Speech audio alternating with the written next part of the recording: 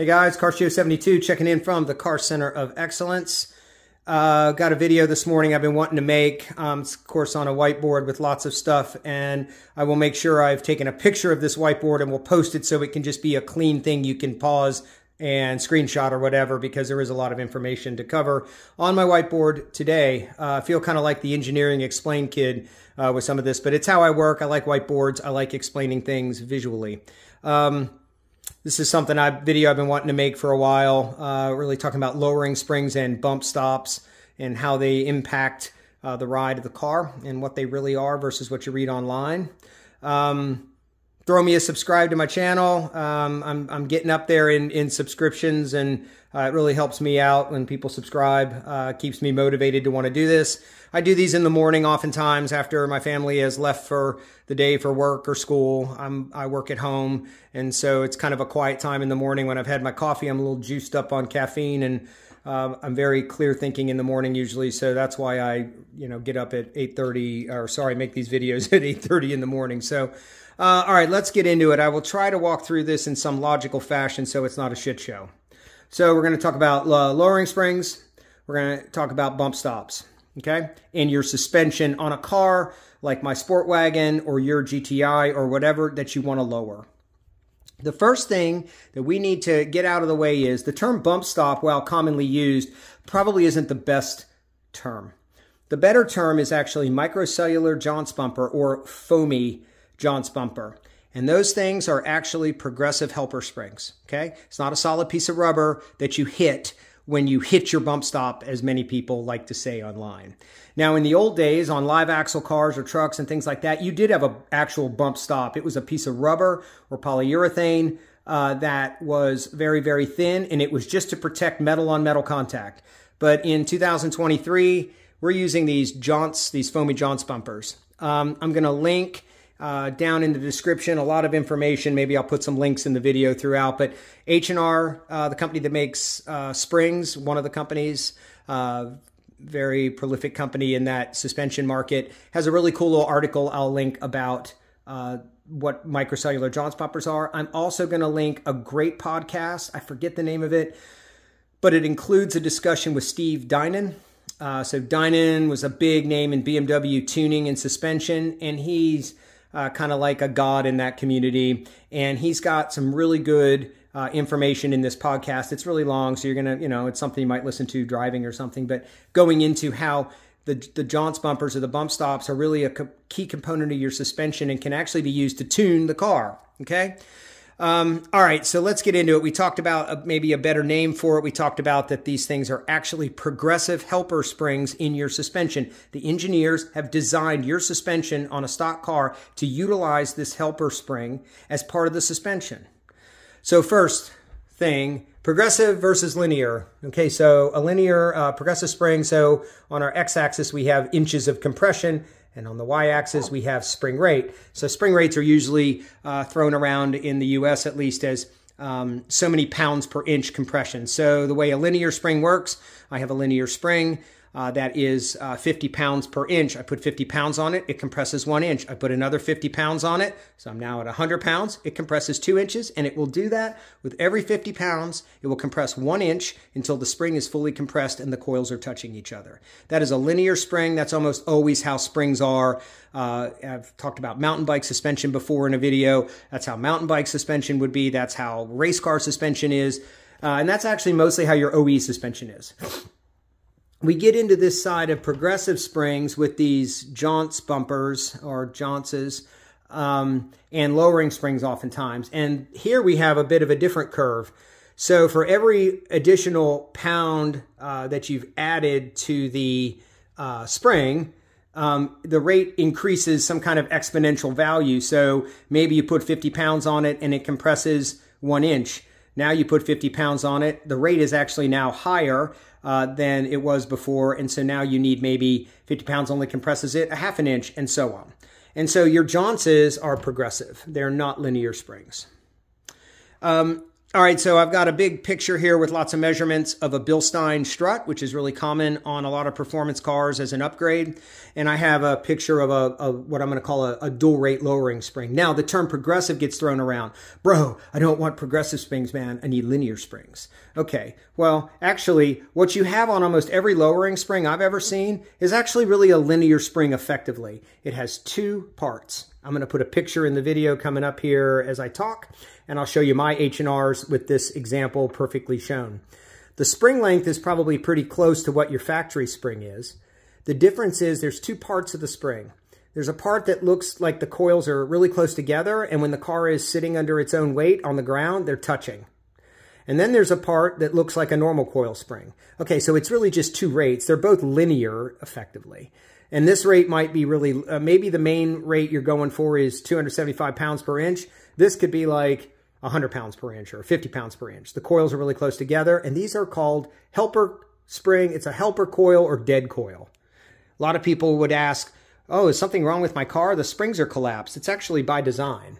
And it acts as a spacer. This is actually the linear portion of the spring you drive on. So even a even a, a, dual rate lowering spring that's often referred to as progressive is really linear as you drive, but it is not. It's actually two different rates with some sort of transition. I forget how that works. It's probably kind of instantaneous as it transitions. The only time these come into play, so this is your car hanging there. You've jacked it up, the wheels off the ground.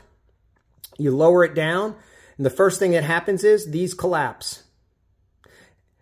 So, but when you extend it, they expand. So the only time these matter is when you're hitting, let's say this is the, the ride height is my lower thumb. You're hitting bumps, boom, boom, boom, and you do that. Boom, you jump. You Dukes of Hazzard jump something, and the spring fully extends, and these fully extend. Because if you did not have these, and you had this little short lowering spring, it'd be fine to drive around on until you Dukes of Hazzard jumped it, and now the spring is bouncing around in the strut, or in the rear perches and potentially falls out, uh, or not, it can't fall out, but it comes dislodged, which would cause problems. So we have a helper spring. You see a lot of coilovers have these as separate, uh, very, very thinly wound springs, but on a lowering spring, it's just a, a portion of it that are closer together, okay? It's important to understand that. Now let's get over to our strut. Okay, I'm lowering my car one inch. I bought H&R lowering springs. I'm going to only have one finger gap, bro. It's going to be rad. I'm getting Instagram cred, street cred from my lowering springs. so um, the first thing to do is do some math. I want to do some math on the measurements of what a lowering spring is actually doing because most lowering springs are typically designed to lower your car around an inch. And that's the reason that you only want to usually lower about that much or, or close to an inch, maybe an inch and a half would be the very most, is you don't want to lower it anymore because you're going to see it's going to ride like complete shit because you're bottomed out all the time. So here's a Bilstein strut. That's the spring perch, the body, and the shaft. But on a Bilstein, it's actually an inverted strut. So the thick part is hanging out that you see, and the thin part you're used to seeing on a shock absorber is actually in the body and it's held on the bottom with a nut, which you can undo and actually remove. It's exactly like a mountain bike suspension fork. So you can remove this to access the jounce. But the jounce is inside. Most people wouldn't probably touch it. Bilstein has done the, the engineering to design that jounce to work with this strut. Okay, so we're going to lower our car one inch. The first thing we need to do is do some measurements on the strut to understand what that one inch is doing. So the first measurement is if we took the jounce out, this strut is going to only have a total amount of movement of, I'm using easy numbers that are close to what my B8s are. It's about 4.75 inches on the front. Okay? So total available is 4.75 inches. We're putting this progressive helper spring on now. That's two and a half inches tall and it can only compress under the very most if you if you put a if you put this in some sort of vise and just squeezed it to the max this thing bottoms out at the thickness of the jounce will be 0.75 so 2.5 uh, minus, uh, 0.75 is 1.75 so it can compress 1.75 inches. But the maximum available travel is actually 4 inches. So you have 4 inches of that strut to work with when you lower your car. Okay and so we're going to lower the car an inch. And what that's going to cause is when I drop the car down, when I lift the car all the way up, it looks like this. When I drop the car back down, it's going to compress three inches on that lowering spring. And so I'm replicating that with the pink lines down here. Oh my God, I'm riding on my bump stops. I can guarantee you anybody that's lowering their car, at least on the Volkswagen side, is on their stops all the time. And this is the exact same on a set of coilovers. If you're running uh, a Bilstein B14 or any of the popular coilovers, you are almost most likely sitting on your Jounces if you lower the car enough.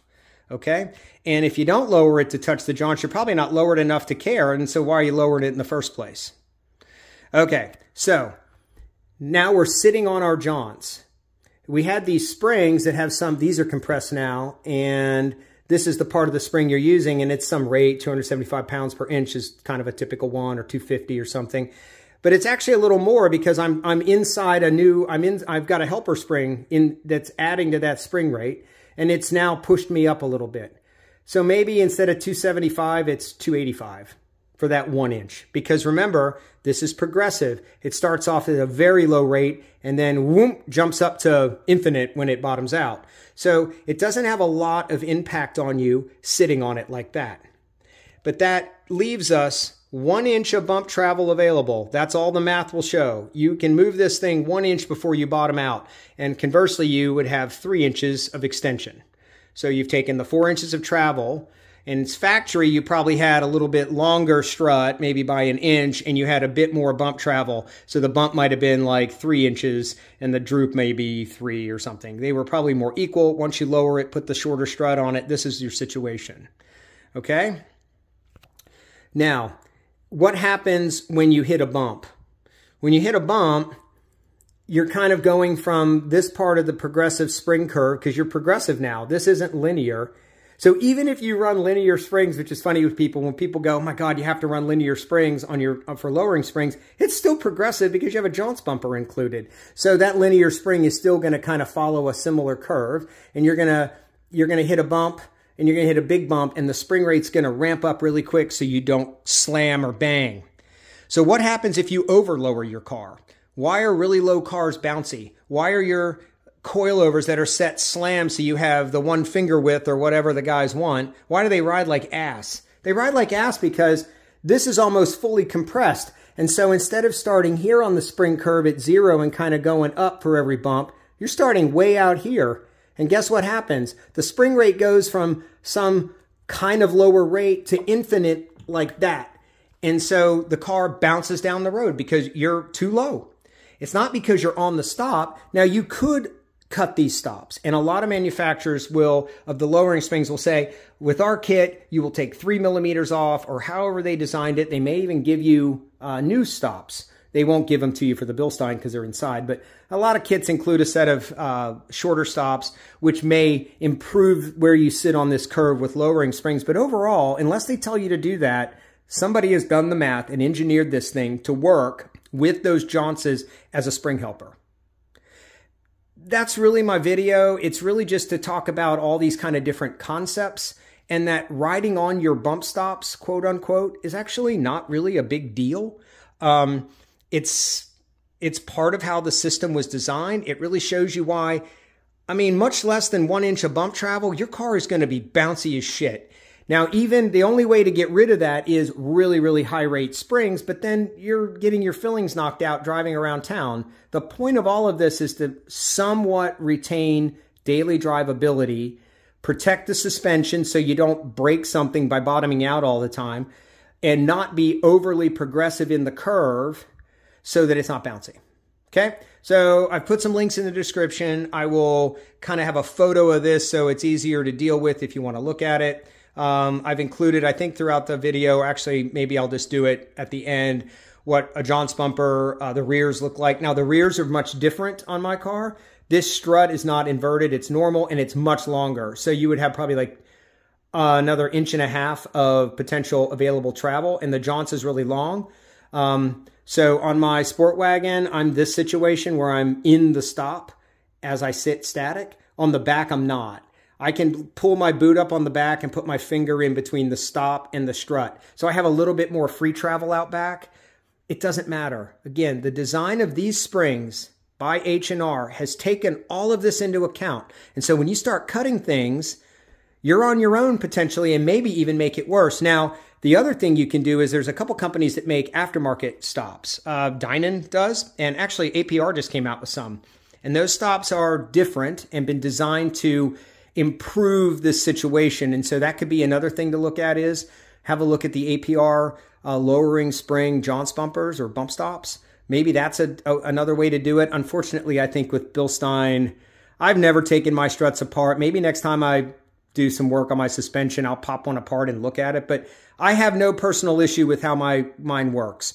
This at first was shocking to me that I had only about an inch and it's like an inch and a quarter, I think, a travel actually, and that I was sitting on the stops, but that's intended to do that. It's intended to make this spring progressive enough not to slam and bottom out, yet not be bouncy. Anyway, guys, that's my video for today, fueled by a couple cups of coffee. Bye.